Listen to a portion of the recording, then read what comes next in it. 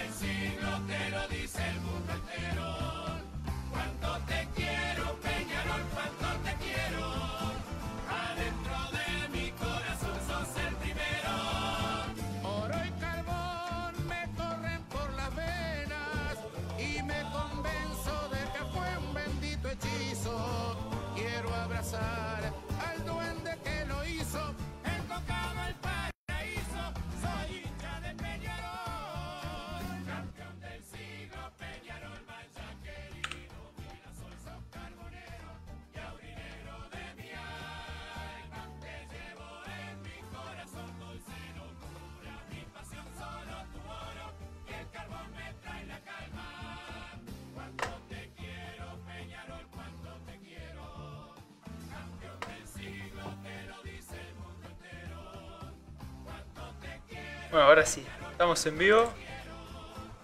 Buenas noches. Bienvenidos al primer programa de Noticias Cap Radio. Somos, vamos a más o menos decir el formato que vamos a tener. Este, de momento iremos haciendo o intentando tener un programa a la semana debatiendo sobre temas obviamente vinculados a Peñarol.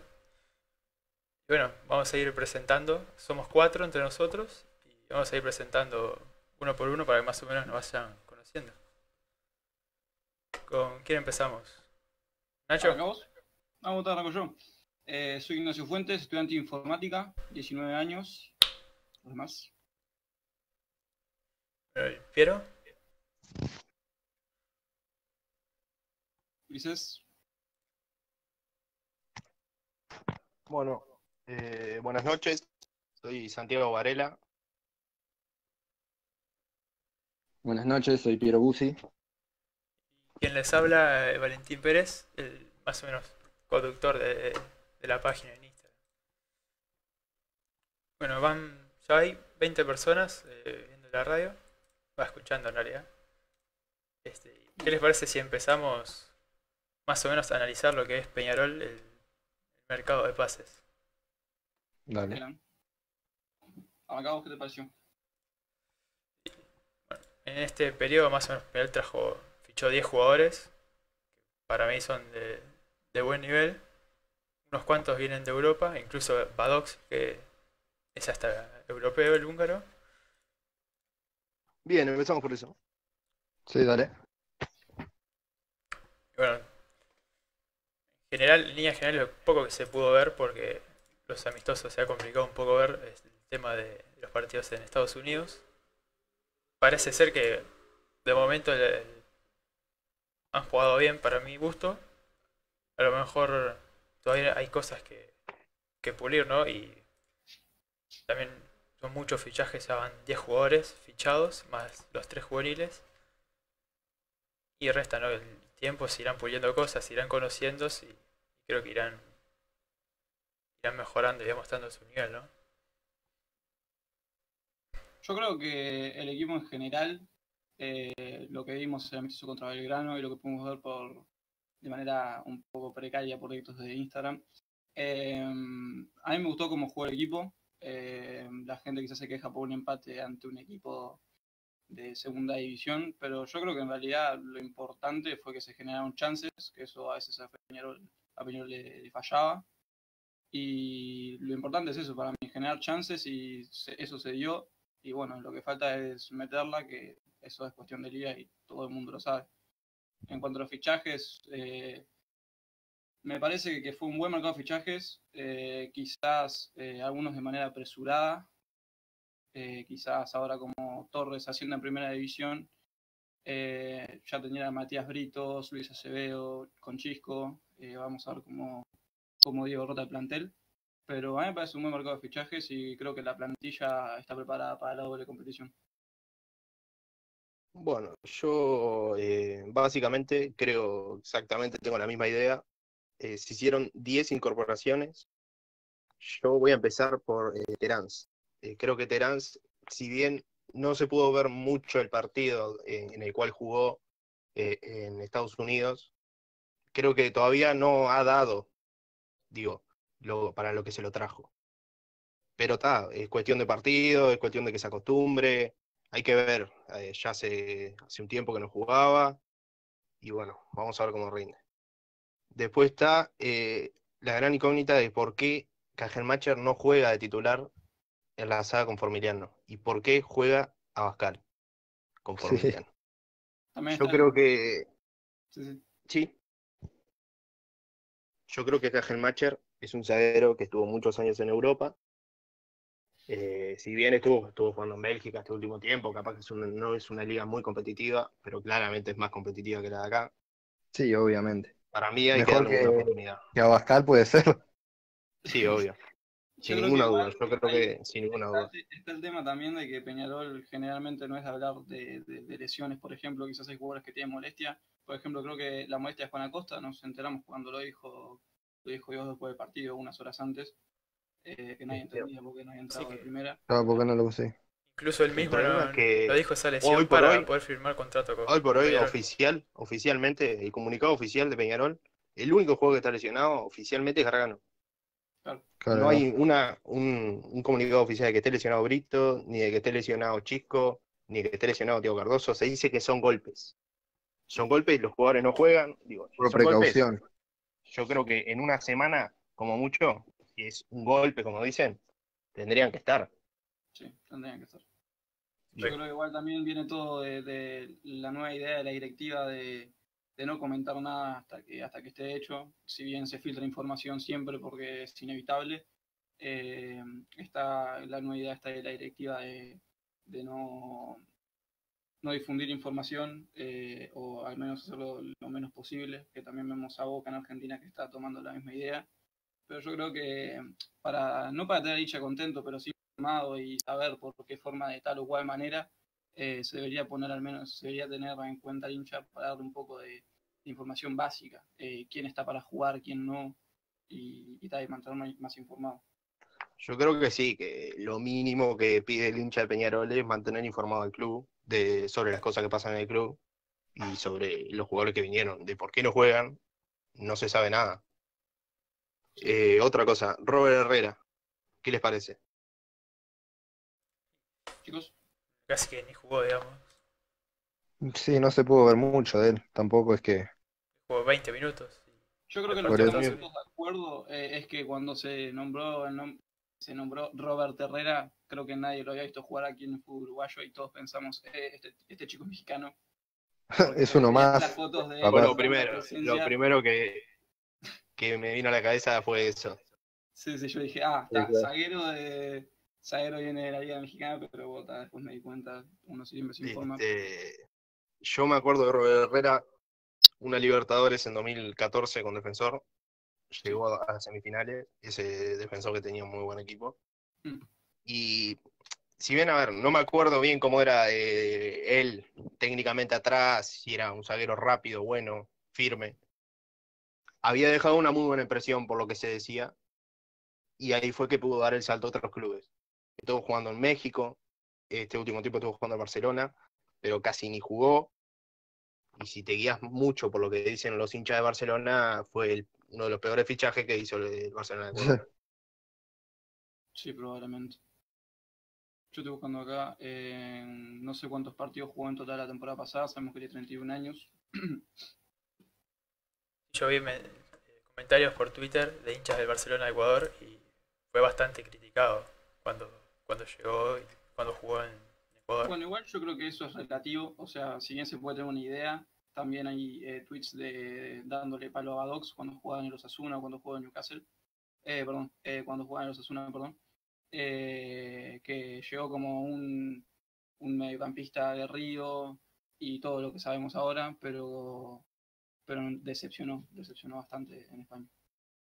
Yo creo que Badox, eh, a ver, eh, Diego lo conoce bien, si lo trajo fue por algo, fue porque claramente piensa que le va a dar rendimiento. Y este, y me parece que da eh, los primeros amistosos, por ejemplo, el del de- este último amistoso con Belgrano en el campeón del siglo, se pudo ver a, eh, a Badoc bien parado. O sea, si bien erró un pase Sí. que fue Ah, uno un muy. pelotazo, pero después dio todo lo pase bien, se lo vio bien parado, eh, intentando pedir la pelota para jugar, para la salida. A mí me pareció hasta ahora me dejó una buena impresión. Acá hablando de lesiones, Manuel Pelucci comenta, los cuidan mucho, por eso se lesionan tan rápido. Y yo creo que sí, o sea, eh, al estar en un club grande quizás, eh, no sé, Y más si es un jugador que genera expectativa, Exacto. más lo van a cuidar todavía. si obvio, no vas a, a poner a jugadores con molestias en un Claro, amistoso. Va jugando amistosos, sí, obvio. Exactamente. No te vas a arriesgar. Exacto. Yo, Eh, o sea, Sí, sí. es el primer amistoso que se puede ver así claramente, que fue televisado, televisado por BTV, Sí, sí. televisado de forma normal, digamos. Sí, no se vio desde una esquina ni nada parecido. Eh, yo lo que pienso es que ta, son los primeros amistosos, no se pueden sacar conclusiones apresuradas.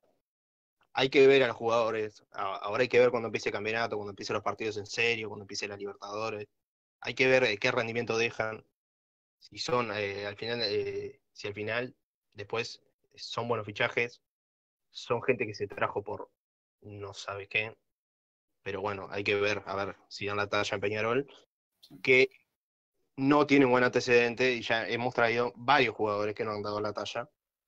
Mm. Y el último mercado de fichaje que recuerdo de haber traído mucha cantidad de jugadores, no sé si no fue en el 2016, 2017, temporada Cuando- 2017.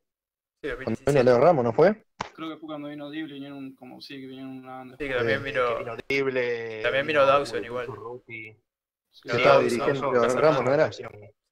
Dawson creo que fue el mejor fichaje que ha hecho Peñarol en estos últimos años, me parece. sí, Sí. Eh. Ese, ese año fue el que se gastó un millón y medio de dólares por Gastón Quizás Rodríguez. por nombre me dirás que eh, la sesión de Burreta Vizcaya, bueno, pero en cuanto a rendimiento, eh, lo que lo, lo que jugó Dawson fue impresionante.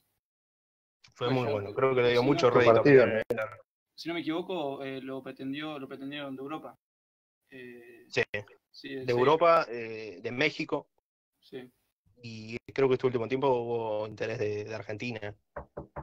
Este, no sé. Yo creo que fue un muy buen fichaje.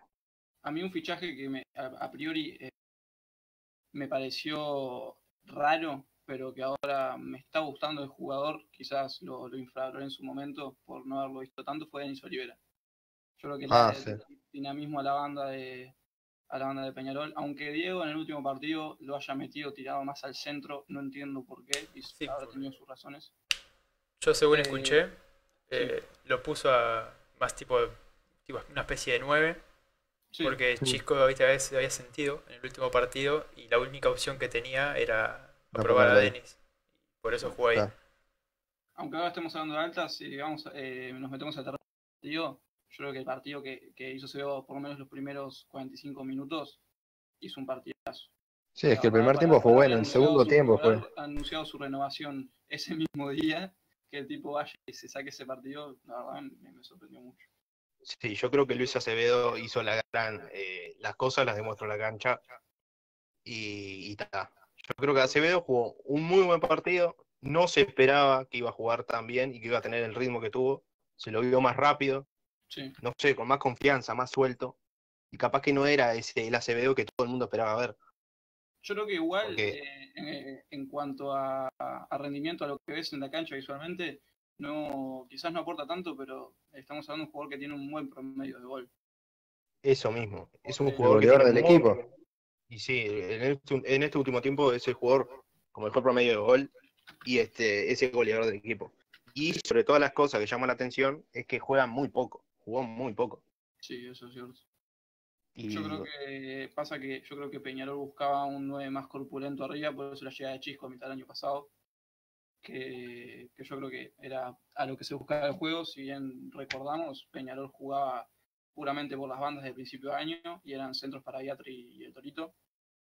Y, yo creo que al perder a esos dos al perder a, al Toro, Toro. buscaron un, centro, un, un delantero centro alto y que de lucha por arriba, y quizás Acevedo no te da tanto eso sí que te da ese empujón final de la chica, que, que, que, que solo van a unos jugadores porque tienen que estar ahí, pero, pero quizás no da las características para el juego que pretendía Milano.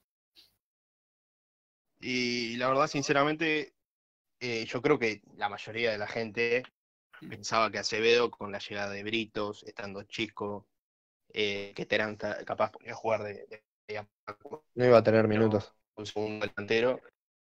Nadie se esperaba que Luis Acevedo iba a tener minutos. O sea, 100 amistosos, pero nadie se esperaba que iba a salir este Acevedo, que los primeros 45 minutos jugó muy bien. Sí. Después está el tema de Denis Olivera.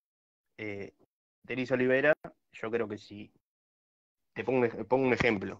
Sí. Si Denis Olivera capaz que hubiera llegado con el Memo López y el Memo López lo prueba de 9, yo creo que hubiera tenido mucha crítica. Pero mucha crítica. Sí, yo creo que sí. Pero lo que genera eh, la era Forlán, eh, ahora que ya Diego eh, se trajo un muy buen eh, cuerpo técnico, profesionales, lo que genera es eh, que te da expectativas, te da eh, confianza, te da para creer. Y si él lo prueba de segundo delantero o de nueve, es porque algo le ve. Exacto. No lo va a poner porque por está ahí. casualidad. Creo El, nombre Forlán como, es como que le da como más tolerancia, digamos, yo creo. Sí, obvio. Yo creo que es lo mismo que está pasando ahora, por ejemplo, en Argentina, eh, que está pasando por una situación parecida, pero no en cuanto a, a director técnico, sino que es, eh, es director deportivo, eh, Riquelme, y quizás no ha tenido prácticamente altas el equipo, pero no es criticado por ser ido. En este caso pasa lo mismo. Eh, por más de que, aunque recién arranca, por más de que al, principio tome decisiones quizás extrañas para, para al principio, yo creo que, que el, nombre y cómo ha hablado él y la personalidad que sabemos que tiene, que es un jugador muy profesional, yo creo que le da cierta tolerancia y además el respaldo que tiene el cuerpo técnico, eh, la directiva, perdón, en él es, es inmenso. Sí. eh, yo le iba a hacer una pregunta y era, eh, ¿cuál creen ustedes que es la mejor incorporación de Peñarol? Yo creo que por escándalo es Urreta Vizcaya. Sí, yo en- también opino lo mismo. Yo creo que Urreta Vizcaya en un 80%, eh, estando bien físicamente, eh, no te digo al 100, pero en un 80, yo creo que puede desnivelar mucho el campeonato uruguayo. Puede ser un jugador muy desnivelante para acá Sí. y le puede dar mucho rendimiento a Peñarol. Mismo para Libertadores va a ser vital también. Para por Sí, lo menos mismo con, eh, El en el partido con Belgrano fue el, el explosivo por las bandas, fue. Sí, yo creo Tirando que buenos lo que centros. le queda al hincha es poder disputarlo solamente por seis meses. ¿Qué va a pasar si, si Peñarol pasa octavos? Eh, ese gustito amargo de que se tenga que ir. Pero sí, el partido contra Belgrano fue impresionante. Eh, es, es lo que hablábamos, eh, la otra vez que estábamos nosotros, ¿no?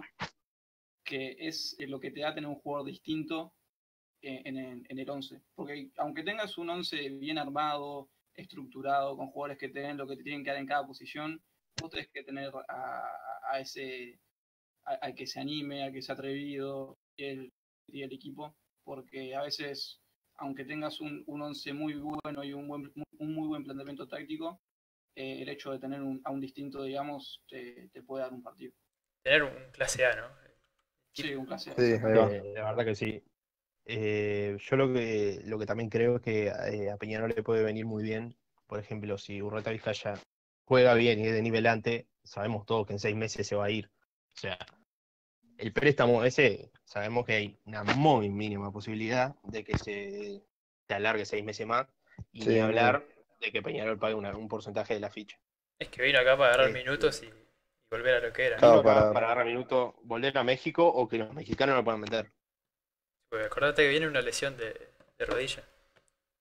Lo mejor que le puede jugar. pasar a Peñarol en ese caso es que Denis Oliveira, tanto Denis Oliveira como Facundo Torres, terminen de explotar Y este, sobre todo Facundo Torres, que hay muchas expectativas en él, pero muchas, el Cuervo Torres.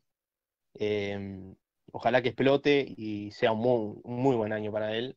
Y ta. Bueno, y Nicolás Denis, que le, le deseo lo mejor, ojalá también A derecha. tenga protagonismo importante en el club.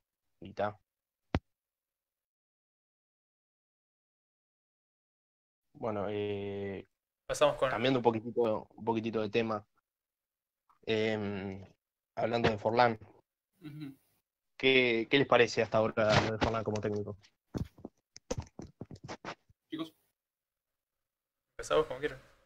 eh, bueno, a mí por, por ahora, por lo que se vio, Bien. eh, yo creo que, que aunque se haya visto un partido solo de manera buena, eh, en cuanto a calidad y televisión, yo creo que más allá de lo que pueda hacer tácticamente Forlán, eh, viene acompañado con una, algo que te da tranquilidad, que es el profesionalismo que tiene. Eh, hay cosas, frases de él que en conferencias de prensa que te dejan tranquilo, como que el que no esté bien físicamente no va a jugar.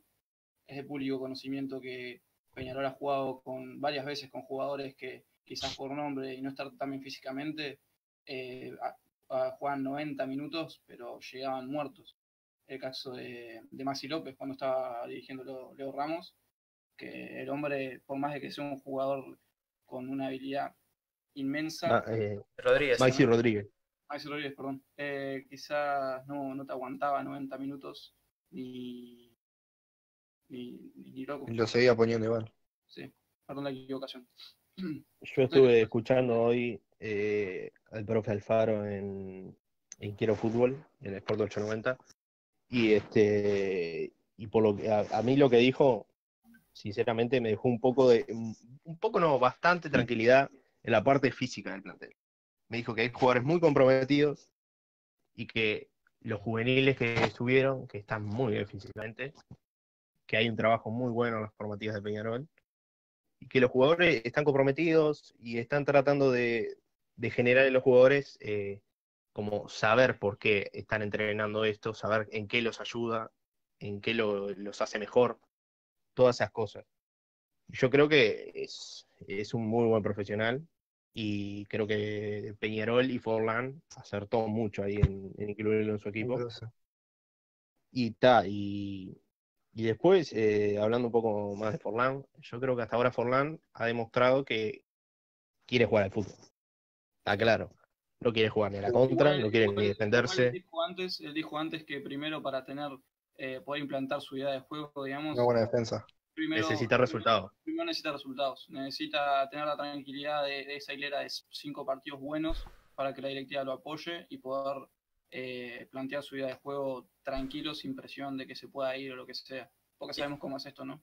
Que no es la primera Sí. vez que no, que un técnico pierde dos, tres partidos, los primeros partidos del campeonato y lo echan a la miércoles.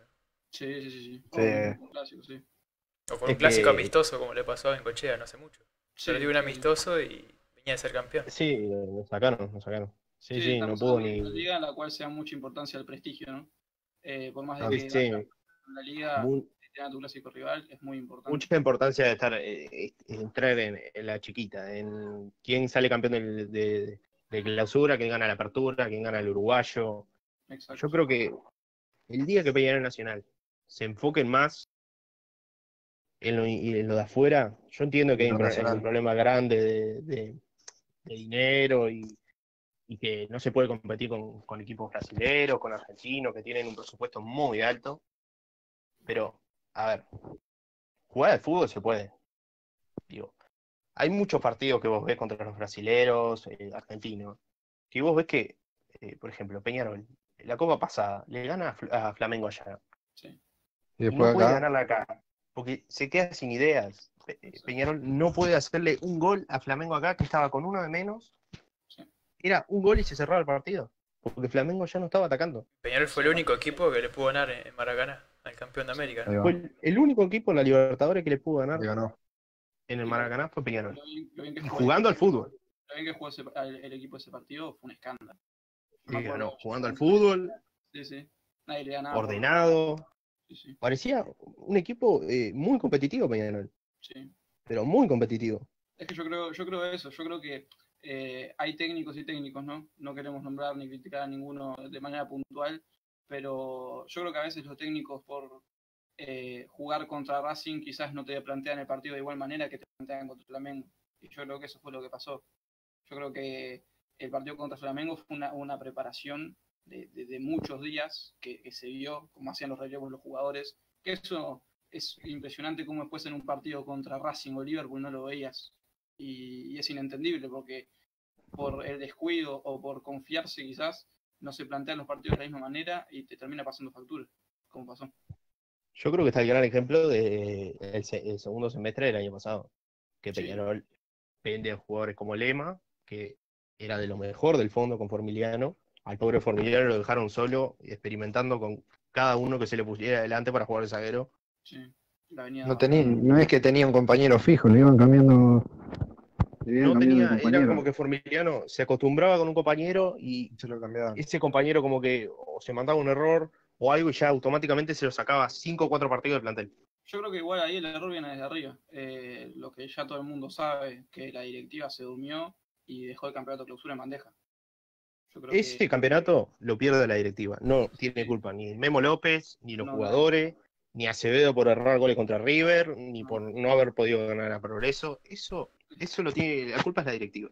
sí, yo creo que sí. Ese gran responsable. Pues, se trajo de el reemplazo de Brian, iba a ser este, Ah. el colombiano este, Sí. no me acuerdo el nombre. Ahí te, Sí. ahí te das cuenta la poca Riasco. importancia. Sí, Eso fue muy poco profesional. fue muy poco. Muy poco. Dos partidos y ya lo. Sí, Reasco Lo jugó echaron. 45 minutos. Yo estoy, yo aseguro prácticamente que nadie en la directiva vio un partido de ese mucho. Porque la verdad que lo que se vio acá fue inaceptable. Fue, un. Solo se entrenaba, se iba para afuera solo. Fue muy poco, pero Mal. a ver, no es culpa de, de Riascos. A No, ver, no, si el jugador no tiene. Ah, no obvio. tiene la categoría ni el, ni el nivel para jugar en un equipo que si le dicen para como Peñarol. O- obviamente, si el jugador le van a decir, y está libre, porque creo que estaba libre, ¿no? Sí, lo dejaron libre de, de América de Cali. Que no hace mucho Obviamente, vi en Twitter que un grupo de hinchas lo elegían como el peor fichaje de la historia de su club. Fa. sí, Peñarol es una máquina de traer peores fichajes de la historia. Es así, Sí, sí. Sí. A ver, se es vio, así. volviendo al punto anterior, se vio el plantel que teníamos a principio de, en el primer semestre, el, el año pasado, era un escándalo. O sea, por más de que había partidos que se jugaba mal, eh, el hecho de tener a Gabriel Fernández arriba, un jugador que ya a, a mitad del semestre sonaba para Europa, y, y, y Lema, la presencia que marcaba en defensa, era el plantel, cómo se desarmó y veías que la directiva no hacía nada, era desesperante. Porque Sí. yo creo que Sí. eso era la crónica de una muerte anunciada. Yo creo que Peñarol sabía que si no iba a hacer más bien el plantel, era cuestión de tiempo de que todo se viniera abajo. No sé a ustedes, pero a mí ahí me dio la sensación de que Peñarol estaba subestimando el campeonato. Como Sí, que creía que cualquiera que agarrara y le metía la camiseta de Peñarol iba a ganar. exactamente. Era como que metía a cualquiera a la cancha, le ponía la camiseta de Peñarol y era como que, no sé, como que pensaban que iba a rendir y íbamos a ir para adelante y íbamos a tirar la camiseta a todos los equipos y íbamos a ganar. Sí, se Y no murió- es así. nos mareamos a ganar de la apertura, porque dijimos, ganamos de la apertura, estamos metidos en, el- en- estamos metidos en la definición, listo. Pero luego hay un montón de cosas. Tenés que competir los 12 meses porque si no, No, los partidos los tenés que jugar, no por ser Peñarol ya vas a ganar. exactamente. Exacto. Yo creo que eso es lo que hizo mal Peñarol y, Se confió demasiado. Después, después terminó como que se fue todo a pique y terminó todo en un final de campeonato donde perdimos dos finales que Sí. no podemos perder. La última, capaz que Peñarol intentó un poco más, pero ya el Memo López ya era como, el equipo era como figurita repetida, ya no había mucho para hacer. No. Porque entre que se lesionaba un jugador por partido y le habían vendido la mitad del plantel, o sea, eh, eh, Memo López no puede hacer magia.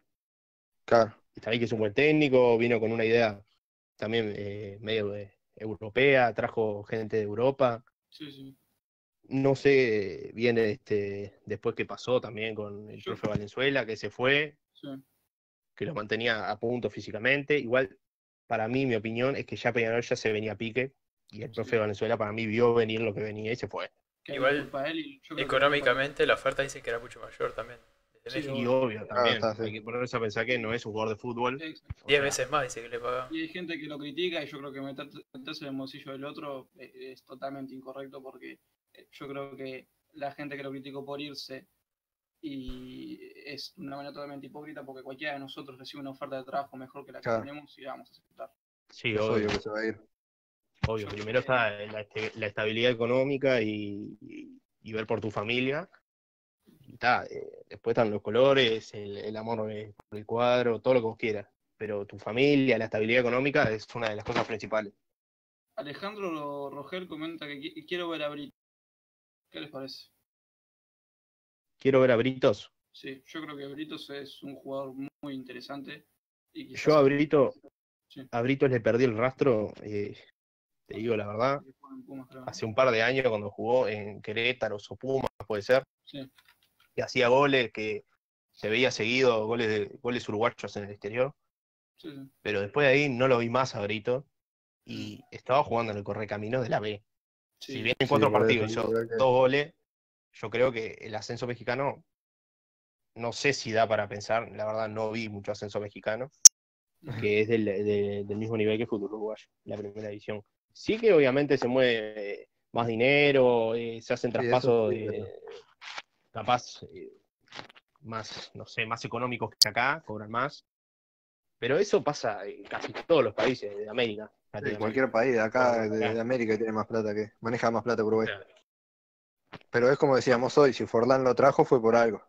sí, obvio. Sí, obvio, si Forlán lo trajo, yo no sé, no, no tengo muy bien claro si lo pidió.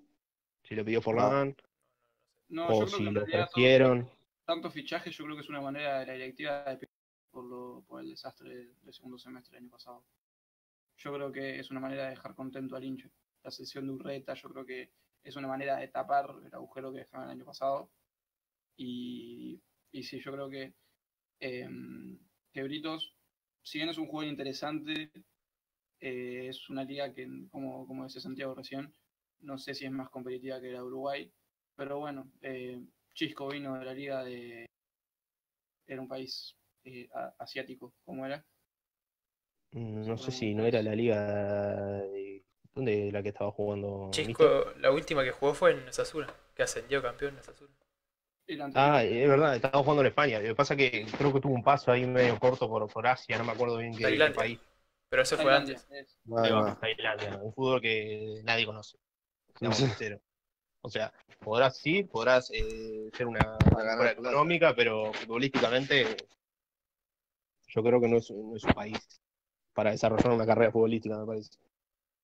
Este, bueno, está, básicamente eso, de- del tema, eh, hablando un poco más del tema de Forlán, eh, me dejó la sensación de que le metió mucha más intensidad a Peñarol de la que tenía, de que va a potenciar a Pelistri, no hay ninguna duda, porque lo está potenciando y lo va a seguir haciendo. Se ve claramente como en cada entrenamiento, eh, Forlán habla con él, Sí. está un, un rato hablando con él, y, este, y eso me deja un poco tranquilo, porque si bien Pelistri creo que es la gran joya, la gran joya de Peñarol, Sí, Sí. mismo se hace notar en redes Eso. sociales todo el tiempo. Eh, la otra vez empiezan a publicar cosas acerca de, de su vida personal. Es como el, el- el eje, el centro de, de atención en cuanto a redes sociales de Peñarol, porque saben que la gente quiere saber de él, que es un chico de perfil bajo, quizás de un muy buen rendimiento, pero que le pueda dar. También es una manera de promocionarlo, ¿no? Porque si de Eh, mañana- es marketing también. Exacto. Eh, la- los, los equipos van a ver, van a escuchar el nombre, se van a interesar y quizás va a hacer que lleguen ofertas del exterior más adelante. yo creo que Pelistri no dura más de seis meses en Peñarol. En mi opinión, A mitad de año Está- ya. Espero no lo mal vendan y se haga una muy buena venta que ayude al club a futuro, tanto a corto plazo como a largo, Sí, sí. Y que Peñarol pueda de, de- de verdad sacar este, ganancias de un jugador que formó.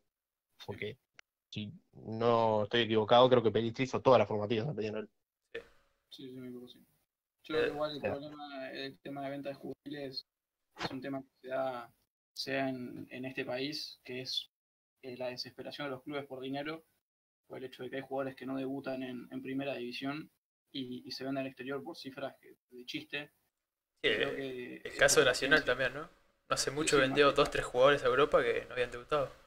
Exacto. Sí. Por Yo creo uno o dos que- millones. no es un problema de Peñarol, sino un problema de, de toda la de todo el fútbol de este país, por el hecho de que no, no hay vista futuro en ese sentido. O sea, la primera oferta superior al millón se acepta y no se tiene en consideración que quizás dándole minutos a ese jugador, que por algo lo vio un equipo grande de Europa, quizás dándole minutos se puede llegar a, a valer el, el doble o el triple. Mm, También sí, hay un- estoy, estoy de acuerdo. También hay un tema, ¿no? Que si el jugador se termina contrato, muy probablemente no, no quiera renovar en Uruguay, teniendo interés de otro país. Pero también viene por el hecho de que no hay atractivo, eh, pero ta, eso es inevitable por el tema de infraestructura también, que no hay atractivo como para que un jugador de 19 años arrancando su carrera esté interesado en seguir acá, en proyectarse porque sabe que no, no va a pasar. Eh, por Bueno, ejemplo, acá eh, Santiago García eh, pide que hablemos de Joaquín Piqueres. Joaquín Piquerés, Joaquín Piqueres. vale. Yo creo que Piquerés hizo un muy buen campeonato con River. El campeonato, lo mejor que hizo fue el segundo semestre, cuando agarró Fossati, Ujú. y también este, cuando llegó a River, obviamente, que no sé qué problema hubo con defensor, no sé si lo dejó libre o tiene el 50% de la ficha y el otro lo tiene, lo tenía River. No sé, no, no sé bien cuál fue el tema contractual ni de la ficha, pero creo que Piquerés es una buena incorporación. Es un jugador que le puede venir bien a Peñarol, porque puede jugar tanto de lateral como lateral volante, y es un jugador físicamente bueno. Eh, yo no, no sé, no, no me animaría a decir que, que va a terminar siendo titular, que se va a ganar el puesto, porque tenemos que, que recordar que está Pelistri por ese lado, está Urreta también por las bandas. eh, hay muchas expectativas en Facundo Torres, que puede jugar tanto por la banda como por adentro. Quizás si querés Bravo. jugar a un fútbol más ofensivo, eh, el, el muchacho puede jugar de carrilero también, si no me equivoco. Y, y yo creo que eso, que al ser tan polifuncional tiene posibilidades de ganar su lugar en el 11, pero como vos decís, no tan arriba como quizás la gente espera. Y también hay que recordar que Roja termina el préstamo, ahora en mitad de año. Sí, Claro, también. capaz que ahí año. tiene más chance. Un Roja con un Capaz buen que- verdad. Sí, sí, Roja eh, viene jugando eh, bastante bien. Cerró el campeonato, si bien Peñarol fue bajo lo de Peñarol al final del semestre. Sí. Yo creo que Roja fue uno de los que medianamente se salvó. Sí, dentro de todo lo malo, Yo creo que junto con Pelistri y capaz que algún gol importante de Chisco, el tema que Chisco tampoco terminó cerrando campeonato, yo creo que fue de los que se salvaron, me parece. Porque Rojas al principio lo veías venir de San Lorenzo, fijabas, eh, te ponías a, buscar sí, información. la gente y- de ellos los hinchas de San Lorenzo no, como que agradecían a nosotros por llevarnos. burlándose, ahí, ahí está, burlándose, agradeciendo como que gracias a Dios que lo llevamos a Rojas. Y ta, y ahí un poco al hincha le genera la duda de eh, si Peñarol se está llevando un paquete o se está llevando un jugador que va a rendir. Sí, Claro. sí, sí. Y Rojas yo creo que rindió, no te voy a decir eh, de una manera excelente, exuberante, pero rindió muy bien. Digo. Sí. También hay que recordar que estaba Lucas Hernández por ahí, que Sí, No es difícil Puede. suplantarlo. fue de lo mejorcito de laterales que, sí, que he visto a Peñarol en, en este último tiempo. Ese muchacho. Sí. Sí, hacía muy goles La subida en sí. Eh, alguien hecho que no nombramos. que-. Alguien que no nombramos que Diego quedó encantado con él jugando en el mediocampo fue Kevin Lewis. Kevin Lewis, Ah, sí. Kevin Lewis, que si no me equivoco, hace unos años en el Peñarol de los Ramos. Ya había tuvido minutos, ¿no? sí, tuvo minutos, sí. contra se Atenas. lo, se lo ¿verdad? llamaba eh, el nuevo Nández. Sí, que lo-. Sus compañeros lo, lo llaman así. Capaz por, eh, por el juego físico, eh, porque se lo vio un jugador aguerrido físicamente, jugador que metía. Pero eh, Diego hace unos días dijo que, hace unos días, capaz que hace una semana, dijo que Lewis es doble 5, pero que en Estados Unidos lo había probado por afuera también, de, Ah. de volante por derecha. Mm. Y dijo que le había parecido una, una muy buena eh, alternativa. Sí, es No algo, sé que, piensan ustedes. es algo que da tranquilidad por el hecho de que eh, al ser, se puede repetir perfectamente y ojalá que no el tema de lesiones del año pasado y tener jugadores polifuncionales, yo creo que es eh, elemental. Jugadores que puedan ocupar más de una posición, yo creo que te puede dar Tipo Jesús Trindade. Sí, como Jesús Claro, Trindade, exacto, jugando lateral y, y de 5. Sí, sí. Tener esos jugadores yo creo que es muy importante en un plantel que, que tiene doble competencia. ¿no? Sí. Y para armar el banco también. ¿no? Exacto. Tenés un suplente que juega por varias posiciones, es importante. Sí, sí. Acá- ¿Y Juan Acosta? Eso mismo iba a decir. Santiago García nos pregunta, ¿Juan Acosta o Gio? Yo Y- creo que, mi opinión, Giovanni González, eh, capaz que puede ya empezar, a- empezar de titular, porque ya conoce al equipo, ya está bastante acostumbrado, pero eh, otra realidad es también que si Juan Acosta no juega, nunca se va a acostumbrar. No, Claro. Eh, si bien viene de jugar en Cerro Largo, que se mandó un campañón, Sí. y fue de, la- de los puntos más altos de, de Cerro Mejor Largo, lateral derecho fue, eso fue nombrado el mejor campeón eh, lateral. yo creo que si Giovanni González llega a faltar eh, el día de mañana, que Juan Acosta lo puede hacer muy bien. Y aparte también está Trindade por ese lado. Que Trindade ya sabemos que lo único que le falta es jugar de, de golero, porque Sí, sí, claro. Ya Jugó en todas las posiciones. prácticamente jugó de todo. Sí, sí, Le sí, falta sí. jugar de nueve, pero Pero está. prácticamente jugó de todo. Pero si te, te Ah. tenés que quedar con uno, quizás por lo que viste, por el tema de que yo creo que nadie va a mentir, eh, todos vimos más a, a Gio que a Juan Acosta jugar, porque acá es una realidad que vimos todos más a, Pe- a, a Giovanni, eh, quizás por la seguridad, pero hay que verlo, hay que comparar, hay que ver cuando se les den minutos. Y también Juan Acosta estuvo jugando tocado. Sí, estuvo jugando todo, ¿cierto? Y- A mí me, me gustó lo, lo poco que pude ver en Sí. Estados Unidos en el partido contra Los Ángeles, Sí. lo poco que pude ver. No, no quiero sacar conclusiones, pero me gustó bastante lo de Juan Acosta, porque si bien justo la cámara enfocaba de ese lado cuando atacaba a Peñarol por la derecha, eh, Juan Acosta tuvo una chance de gol, La una salida. muy buena presión de Peñarol. Y este, y yo creo que dio salida por el, por el costado derecho, que se, se mostró para jugar, que fue al ataque cuando pudo.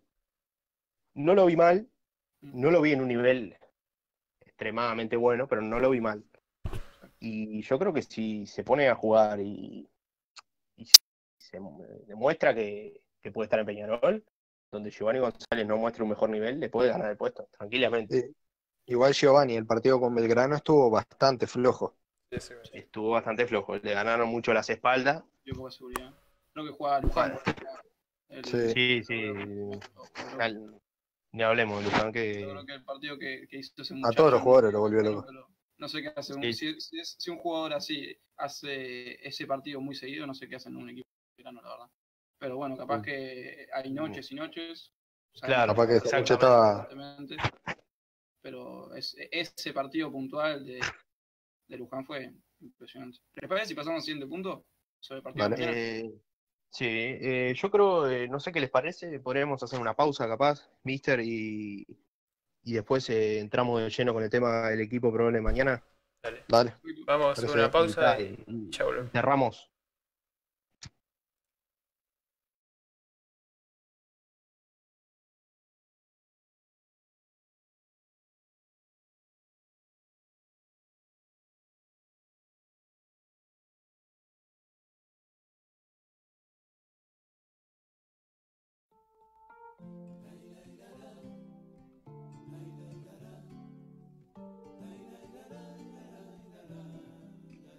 Corazón palpita y se estremece cuando me envuelve el mirasol de tu bandera. Y esta pasión que cada día crece y crece, como vos siempre florece, año a año en primavera. Sos mi locura y mi pasión tuya es mi vida, Peñarol, ¿cómo decirte vez cuánto te quiero?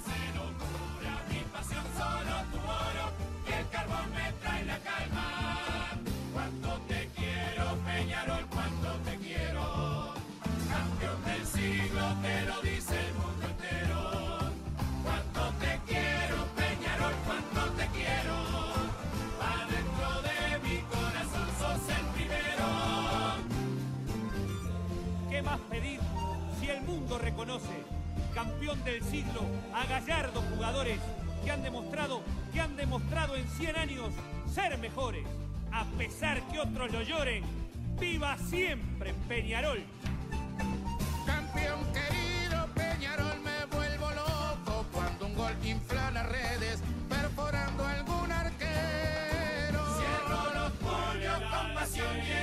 Al cielo mi emoción. Vos sos mi vida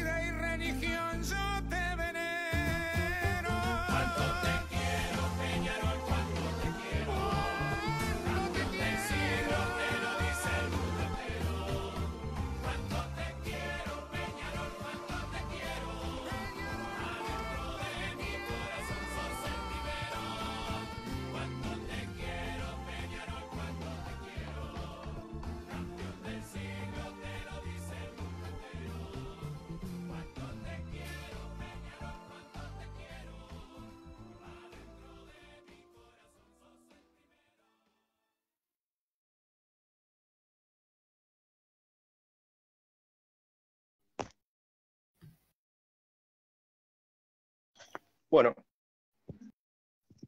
Este, Chicos, sí, eh, bueno, ¿saben qué resiste ¿cuál es el, el once titular que se está manejando hasta ahora?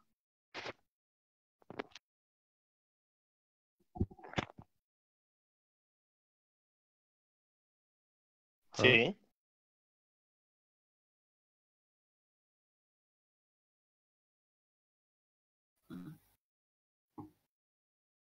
Ajá. Los famosos. Sí.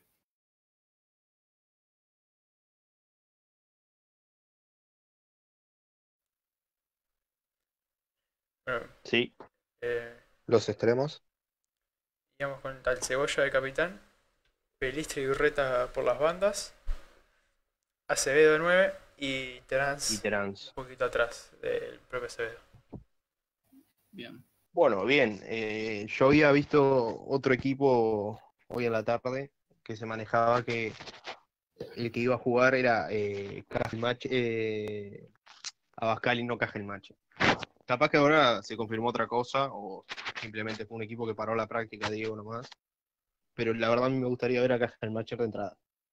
Yo creo que gustaría si, ver- si bien es Sí. un amistoso y sirve para ver al equipo, eh, al hincha de Peñarol quizás no le entusiasma tanto jugar contra Deportivo Maldonado. Sí ve al equipo, sí ver cómo funciona, pero ojalá sea un buen papel. Y, y creo que eso, que al jugar un equipo con, con la talla de Deportivo Maldonado, quizás las conclusiones van a ser escasas. Yo Bien, creo que- yo creo que sí. Más o- yo creo que hoy, hoy en día todos estamos de acuerdo de que Peñarol tiene que hacer mínimo 2-3 goles a Deportivo Maldonado. Mínimo, Recién ascendido, ¿no? como mínimo. Mira, eh, yo no te- yo lo- me quedaría conforme si eh, Peñarol lo pasa por arriba a Deportivo Maldonado como tiene que ser, por diferencia de plantel, por diferencia de todo, de preparación, Sí. de todo. Y, y sí, obviamente, hacerle dos o tres goles es lo que se pide, ¿no? Que Sí. metan adentro de la pelota, porque si vos generas eh, ocho, nueve situaciones de gol por partido, pero no la metes adentro. Yo entiendo que es un tema de que se te puede cerrar el arco, capaz que no tenés suerte, Sí, sí. el golero del otro equipo se manda el mejor su partido día. de su vida. Exacto. Este, igual, ta, esta semana los- no es el día de los goleros, no es la semana de los goleros. Ya vimos lo que pasó ayer Sí, en Uruguay. Eh, Ya no queda a ver. sí, no. Espero que el golero de Deportivo Maldonado no esté en su día y la podamos meter adentro. sí, sí. Y claro, y, y- a ver, El golero, pobre por él, ¿no? Pero digo, Sí, claro. El golero Deportivo Maldonado es ex Peñarol. es Lerda. Sí. Danilo Lerda. Sí. Sí, sí. Yo creo que el 11 que va para mañana en Peñarol semeja quizás un poco a, a lo que quiere plantear Diego. campeonato. Sí, sí, yo creo que sí. Eh, si bien eh, lo que disgusta un poco es lo, lo bueno que se vio de, del chileno Bravo y que justo esté en la plaza que ocupa Urreta Vizcaya eh, y que no se le pueda dar minutos, eh, yo creo que el equipo se asemeja bastante a lo que pretende Diego. Yo creo que Bravo puede aportar mucho eh, cuando ingresa. De revulsivo. Y yo lo vi bien a Bravo, Sí. lo vi con bastante confianza. Capaz que le falta, o sea, tiene confianza, pero capaz le falta soltarse un poco más. Adaptarse que un poco desbordar- más también. desbordar más, desbordar más como lo vi allá en Estados Unidos, que desbordó cuando entró contra Los Ángeles, metió un par de desbordes y centros que casi terminan en gol.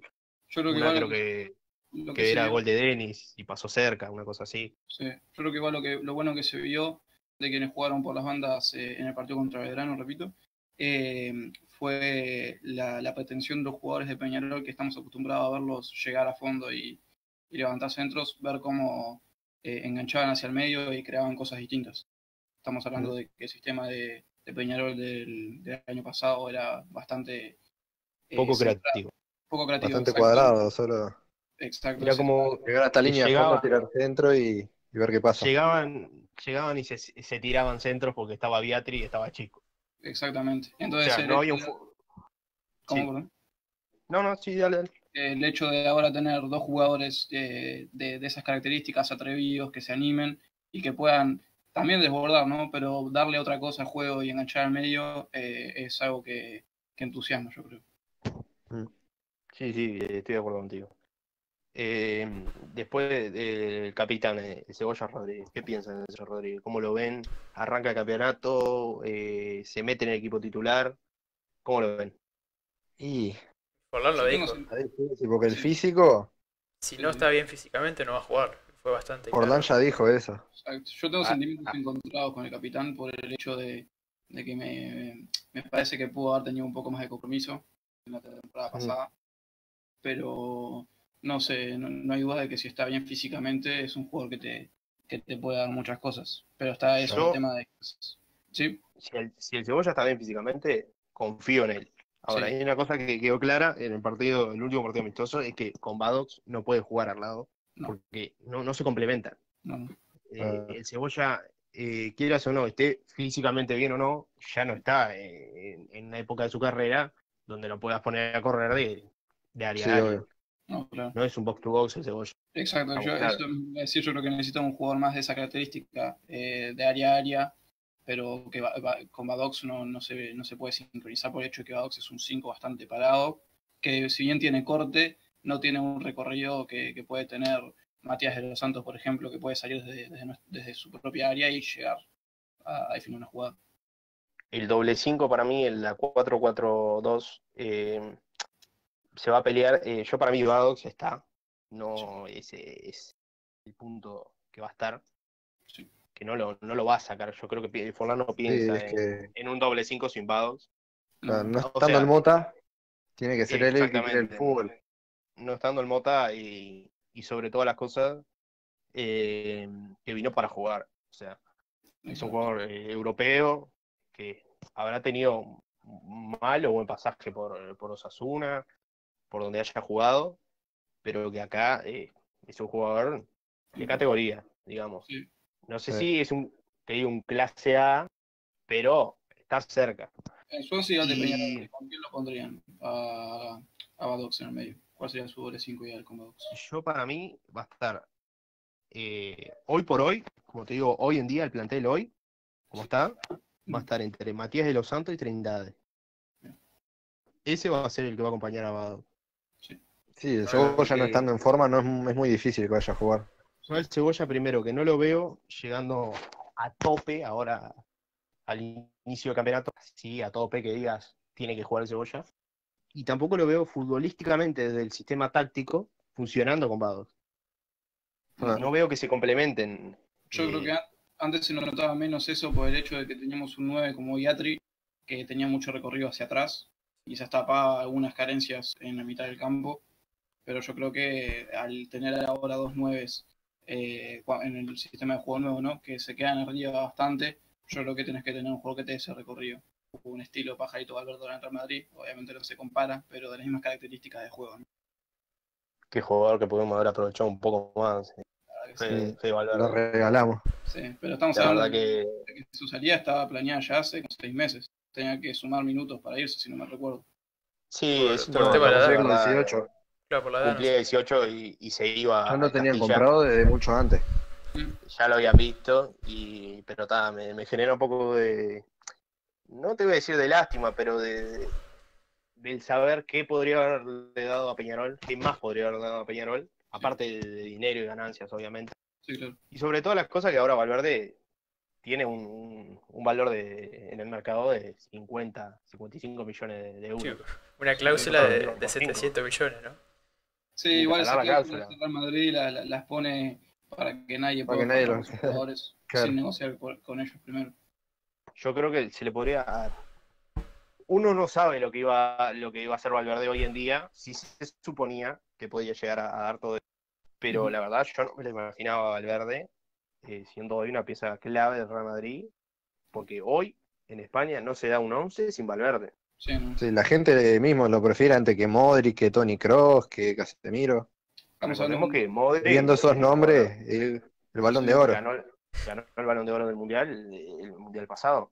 O sea, Por eso. estaba compitiendo con, con Sí, cualquiera. de que, de que Pajarito les dio, aunque sea un título corto, les dio un título con una decisión de un jugador de carácter en el final del partido. Y, y además en el resto del torneo se quedaron dos partidos la, la Supercopa, yo creo que hay un rendimiento impresionante. Mm. De alguien, Bueno, que, eh, de alguien que no hablamos igual, que yo creo que se merece un poco más de reconocimiento, es de Thiago Cardoso, los últimos partidos Sí. de la temporada pasada. Sí, Thiago Cardoso, yo creo que Que cuando mucho se lesionó se puso. No le quedó grande la casaca. Agarró los guantes y dijo, bueno, es mi momento. Sí, sí. Y es un momento que venía esperando, porque Thiago Cardoso, no, no sé exactamente hace cuánto es es suplente de Peñarol, pero me parece que hace unos años. Y se llegó a pelear con su representante que lo quiso sacar en su momento.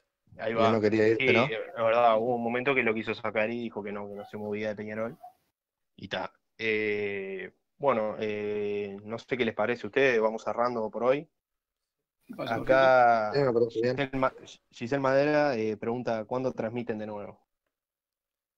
La semana que viene, mismo sí, día, sería capaz, ¿no? Queremos, Sí, capaz que sí. yo creo que no lo tenemos muy, muy decidido Una vez por todavía. semana, Pero capaz. por la página igual se van a enterar, porque yo Claro, exactamente. Noticias acá. Y nos gustaría, que, nos gustaría que difundan esta idea, esta impresión estamos eh, iniciando y quizás así llegar a más oyentes y poder generar una comunidad más grande. Eso mismo. Claro. Bueno, bueno eh, me despido. Eh, muchas gracias por escucharnos, por dedicarnos este tiempo. A ver, nosotros hablamos de lo que nos gusta y hablamos de Peñarol. Obviamente criticamos, como todo de hincha, pero claramente queremos lo mejor para el club. No criticamos eh, de mala manera. Queremos que Peñarol mejore y queremos que por fin Peñarol se ponga las pilas y vuelva a ser un equipo competitivo. Yo no te digo ganar cinco Libertadores más, pero un equipo competitivo. De a poco. Que- Bueno,